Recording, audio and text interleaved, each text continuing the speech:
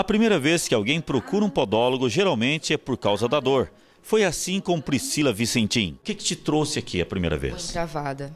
Unha encravada. Esse negócio dói, dói mesmo, é? Sim, dói. Dói um pouco. Agora, o que que dói? O tratamento ou a unha? A unha.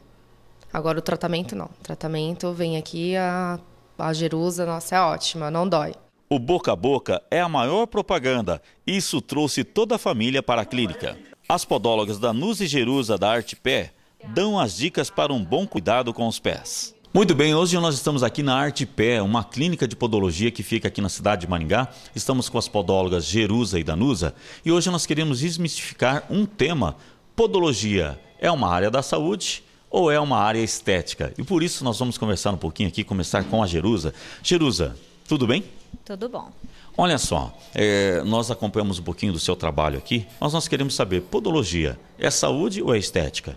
Na verdade, a podologia é uma área da saúde que cuida diretamente dos pés, né? Onde a gente tem alguns tratamentos que são as micoses, unhas encravadas, que são a nossa maior procura em atendimento. E se você pensa que só as mulheres procuram os cuidados de uma podóloga, você se enganou, porque homem também procura. Nós pensamos que os melhores clientes ou os clientes que mais procuram os serviços das podólogas Jerusa e Danusa é o público feminino, mas está aqui o Kleber para desmistificar isso. Kleber, tudo bem? Tudo ótimo. Agora ótimo, né? né? Mas alguns minutinhos atrás, como é que estava o pé? Estava terrível, latejando, doendo. Você tem um probleminha do quê? Unha encravada. E dói mesmo? Demais. Tem certeza? Com certeza. Agora, fala uma coisa para mim. É, você está aliviado? Estou bastante. É a segunda vez que você vem aqui. Vai voltar outras vezes? Bom, eu espero que você não precise, né? Mas cada vez que você vem aqui, você volta melhor para casa. Volto. Tem que acompanhar agora para ver como que ela vai crescer de novo. E você indicaria o serviço a quem está nos assistindo? Eu indicaria. Com certeza. Para prevenção de ter um pé saudável, o interessante é você não remover muito o excesso lateral de cutícula.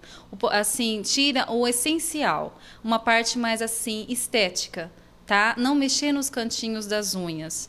Sempre estar tá usando sapatos adequados, que não esteja assim incomodando cantinhos das unhas ou até mesmo pegando em algumas é, regiões do pé.